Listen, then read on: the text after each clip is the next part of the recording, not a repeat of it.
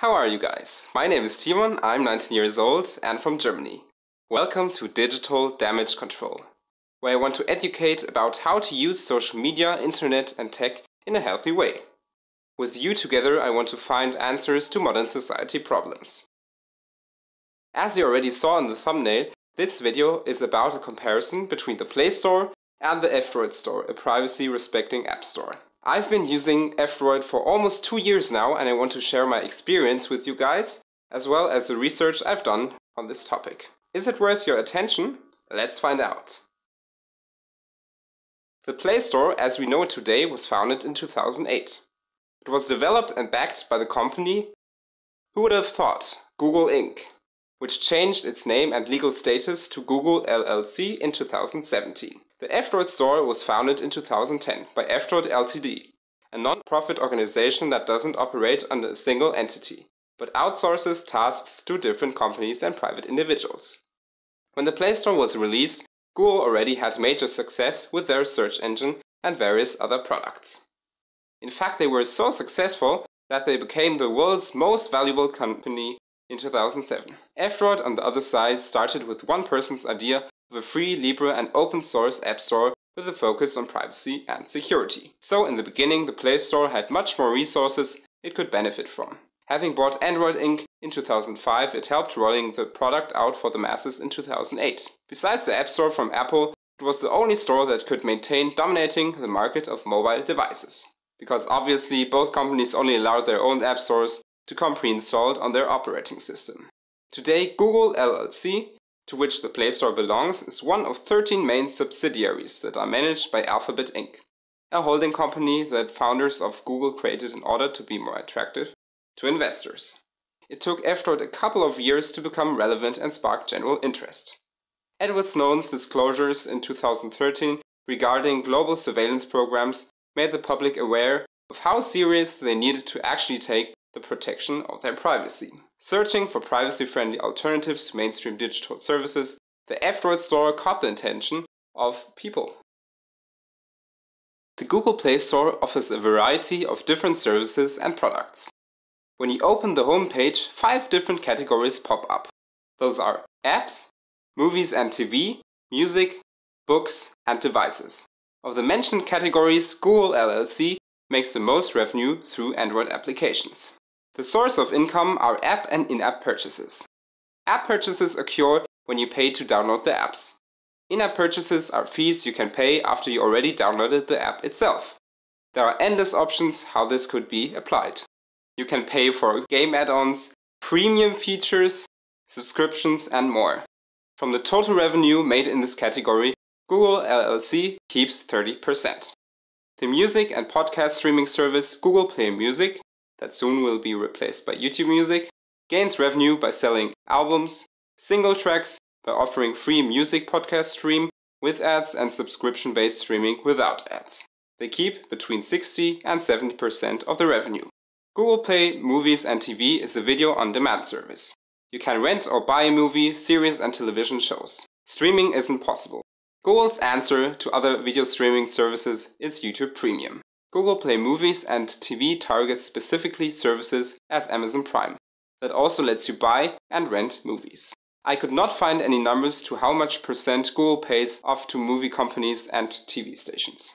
The ebook digital distribution service Google Play Books lets you buy and download ebooks as well as audiobooks. They pay authors and publishers 52% of the revenue.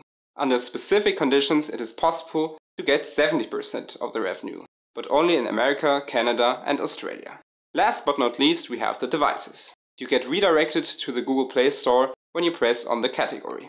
It basically is the online store of Google's hardware, like for example the Google Pixel phone, Chromecast streaming stick or the Nest smart home system. Because all products get licensed by Google themselves, 100% of the revenue stays in the company. Google LLC also makes profit of the Play Store indirectly through other services, for example their app monetization tool called Google AdMob. This advertising tool probably makes the same amount as the in-app purchases, app purchases and other Play Store media combined. Advertising included in apps can pop up in many different formats, as banner, interstitial, rewarding video and native. Other services that take advantage of the Play Store popularity are the already mentioned YouTube ads, YouTube Premium subscription, and YouTube Music. The F-Droid Store's only service includes providing app downloads.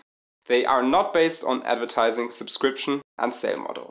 Instead, they rely on donations and volunteers that keep maintaining and developing the platform. What is the difference between revenue and profit? Revenue is the total amount of income generated by the goods or services a company sells and does not include expenses. Profit is the income that remains after accounting for the expenses. The latest statistics show the gross app revenue generated on the Play Store in 2018.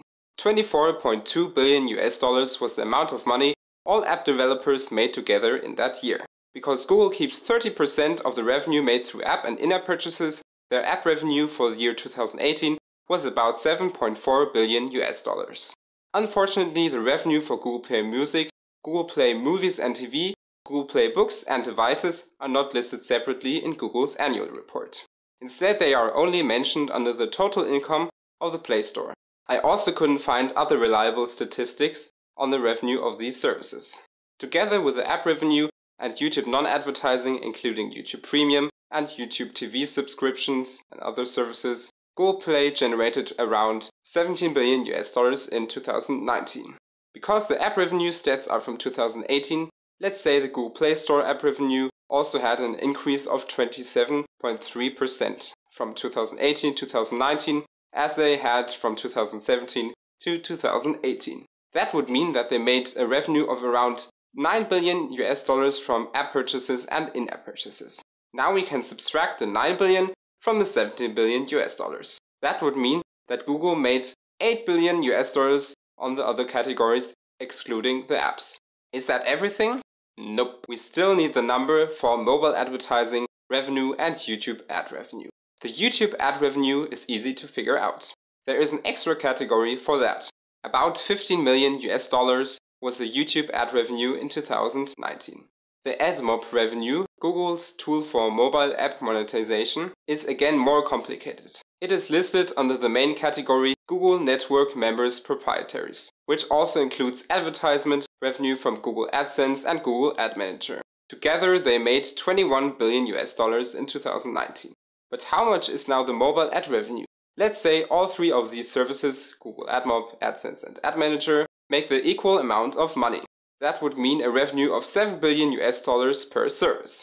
From the annual report, we know that AdSense revenue decreased over the course of the last two years, and that both Ad Manager and AdMob increased in value. So we could estimate that AdMob makes about 9 billion US dollars. So directly, Google Play revenue is 17 billion US dollars. Indirectly, Google profits from the Google Play Store's user base through their advertisement and may lay at around 24 billion US dollars. F-Droid's last annual report shows us that they had assets of 11,000 British pounds, that's about 14,000 US dollars. As we can state by now, F-Droid's intention is not to generate as much money as possible from users, but to provide a standard for secure and privacy-friendly apps.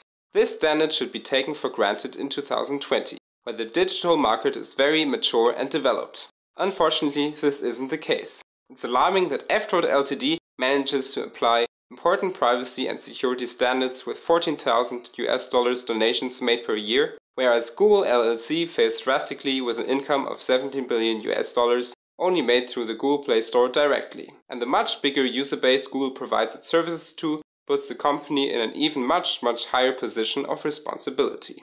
You could even argue that Google is the reason why a real standard for privacy and security does still not exist in the app space today.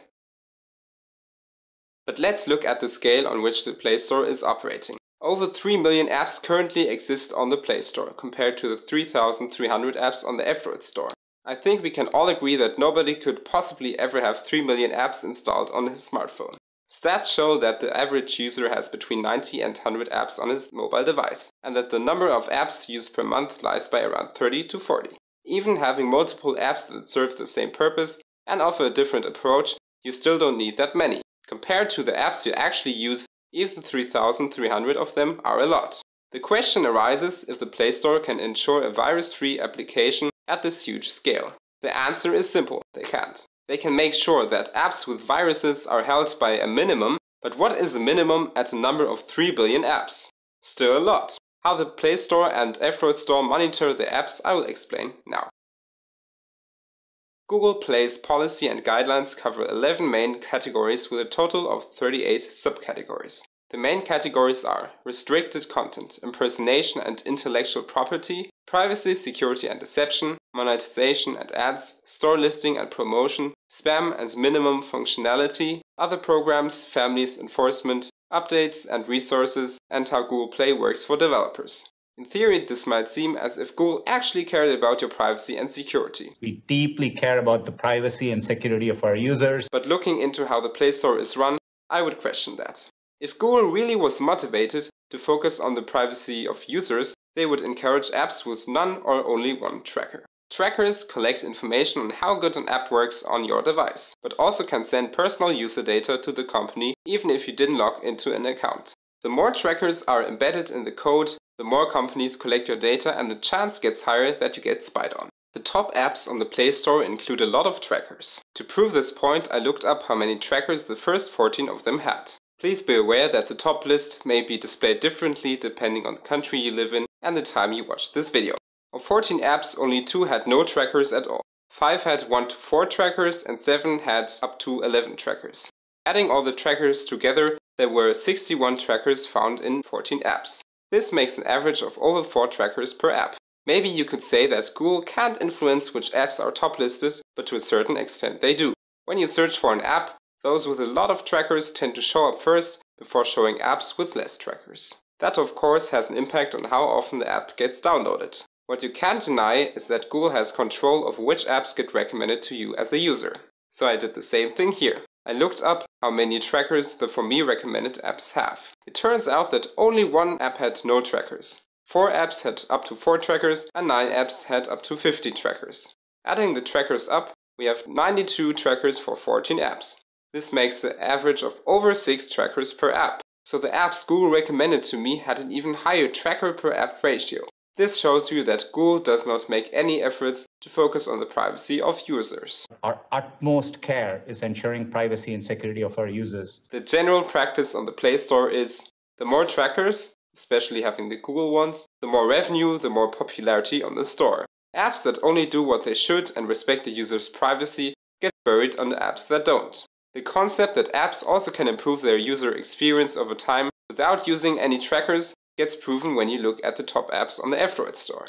You don't have a section for that, but on the German Wikipedia page a list of the most popular F-Droid apps can be found. Surprise surprise, of the 22 listed apps, only 4 had trackers at all. With 4 trackers for 22 apps, the average of trackers per app lies by 0.18. And the app search is transparent. You get what you searched for. As the guidelines of the F-Droid store say, they quote, cannot build apps using proprietary track and analytic dependencies, like Crashlytics and Firebase, end quote. So you won't find any app with Google trackers on the F-Droid store.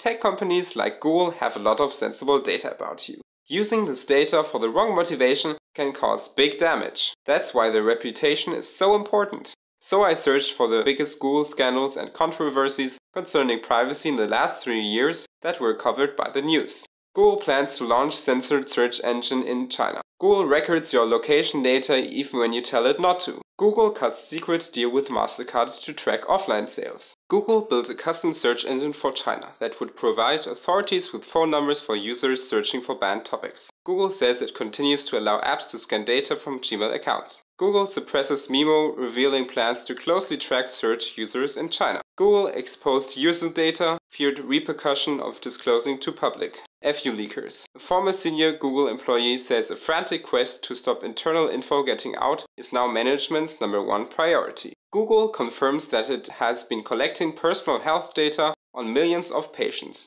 Google does not only collect data from its services, but actively buys sensible user data from companies like MasterCard. MasterCard is known for its debit, credit and prepaid cards that get used worldwide. When Google makes a mistake like exposing your data, they consider their image being more important than its users. They contribute to the surveillance of totalitarian governments as China instead of resisting their demands. Yes, they would maybe lose market, but they would set a sign that they value human rights over money. On F-Droid I could not find any scandals or controversies concerning privacy.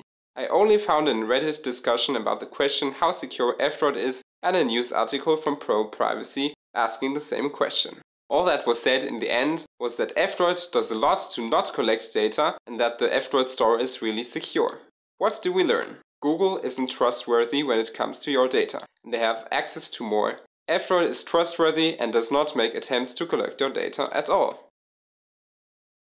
Play Store apps are not as slick and lightweight as on the F-Droid store. You get more functions than you need, so they also take up more storage. They also produce more data and cache that can slow your phone down over time. So using Play Store apps increases your mobile data usage compared to F-Droid. Also, not every app has dark mode, which is a standard feature on F-Droid. Because Google Play Store apps mostly are closed source, nobody can check on the app code for suspicious actions. F-Droid, on the other hand, only allows open source apps in its store. So everyone who understands code can check the app for privacy and security issues. Because the Google Play Store only allows one app of its kind, legacy apps don't exist. Legacy apps are apps that don't get updated anymore, so they still can be used on older devices. If there is a legacy version of an app, there also will exist a frequently updated version for recent devices. Another thing you won't find on the Google Play Store are alternative app stores. Google doesn't allow products to coexist with its services when they outperform them or could potentially become competitive products. This is different on F-Droid. Competition is wanted and a fair environment for the developers is guaranteed.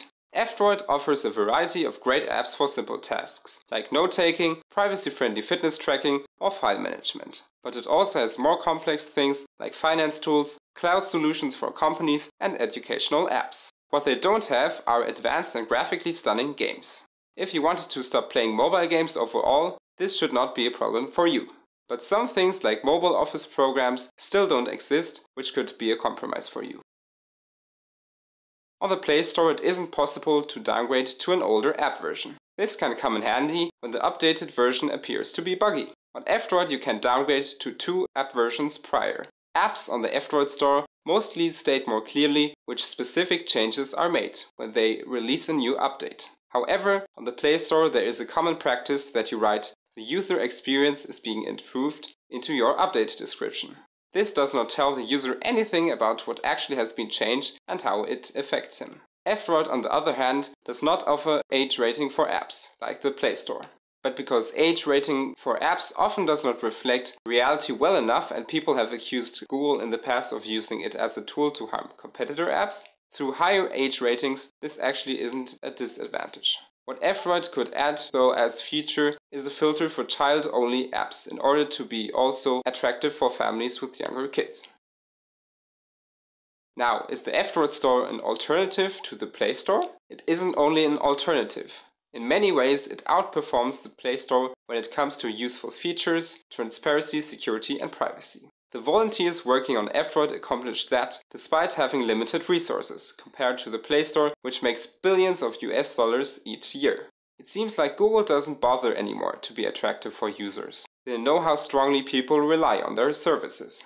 F-Droid, contrarily to that, consistently improves the F-Droid store by, for example, partnering up with other privacy-respecting organizations. Nonetheless, you can't quit the Play Store completely. Official banking apps, school or work apps, government apps and office apps aren't supported. So my advice to you is replace as many Google Play Store apps with F-Droid apps that serve the same purpose. Ask yourself if you really need an app for every use case and if it isn't a good idea to scale down to the apps you really need on a regular basis. If you enjoyed this video, a sub would be amazing. This way you won't miss out on the second F-Droid Explained episode where I will talk about common issues new users face when they are switching to the F-Droid store. You still have questions regarding F-Droid and the Google Play Store? You have ideas for future videos? You just want to say hello? Feel free to write something into the comments down below. And with that said, I wish you a great day and I hope to see you soon. Bye!